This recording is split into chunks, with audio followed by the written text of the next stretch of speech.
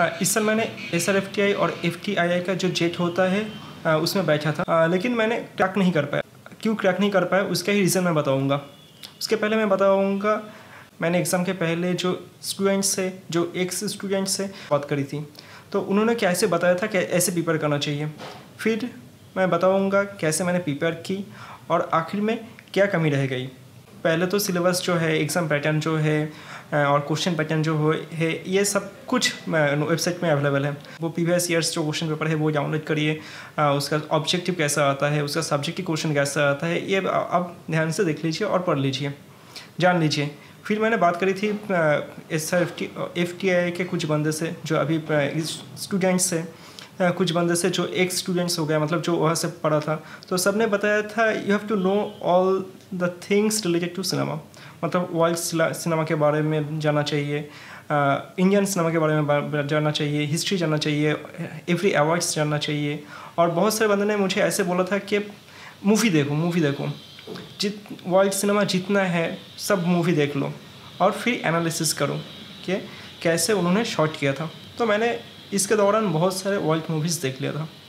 फिर मैंने previous years के क्वेश्चन जो है, वो सारे सॉल्व किया था। सॉल्व किया था मतलब जो ऑब्जेक्टिव है, उसको मैंने पढ़ा था। जो सब्जेक्टिव है, वो मेरे खुद की लैंग्वेज में मैंने लिख के प्रैक्टिस किया था। बहुत सारे मूवी देखा मैंने।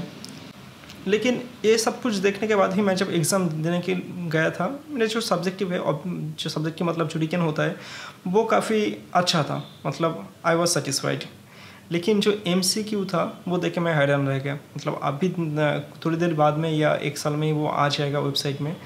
तो जो थर्टी मार्क्स होता है एम सी क्यू के लिए, उसमें मैंने करीब मैक्सिमम कितना होगा? बारह से पंद्रह में मैंने कर लिया। राइट किया और बाकी जो सारे थे, वो नेगेटिव मार्क नहीं रहता है, मैंने कर दिया था, लेकिन वो ठीक हुआ नहीं मेरे ख्याल से।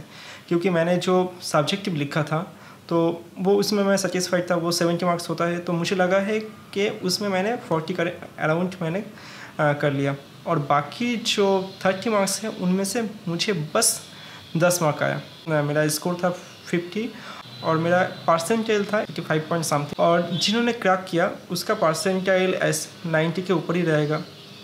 और जो बंदा 62 किया तो मैंने उससे बात करी थी कि उसे करीबन 25 जो एम सी क्यू था वो राइट कर लिया था ठीक किया था। तो मेरे जो कमी रह गई थी वो है मैंने मान लो मैं दस पाया था ठीक है। तीस में दस और वो पाया था पच्चीस तो पंद्रह का डिफरेंस हो गया। मेरा मार्क था फिफ्टी और उसका मार्क था सिक्सटी टू वो क्रैक कर लिया ओरिएंटेशन के लिए।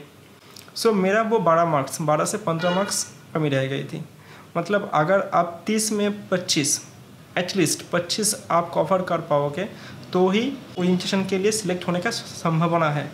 You have to score at least twenty five out of thirty then you can crack the examination provided that provided that you did well in your subjective also so subjective के लिए क्या करना चाहिए? Subjective के लिए पिछले जितने सारे क्वेश्चन से वो अपनी लैंग्वेज में आप प्रैक्टिस करते रहो, लिखते रहो। ठीक है?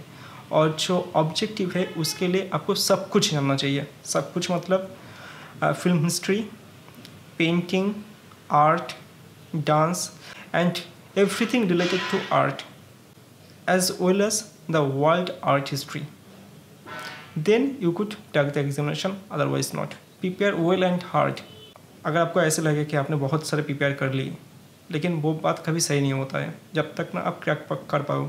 एक साल अभी भी टाइम है सो एक साल में प्रिपेयर कर लीजिए ढंग से तो अगले साल हो सकते हैं कि आप क्रैक कर पाओगे। नहीं तो संभावना नहीं है। थैंक्स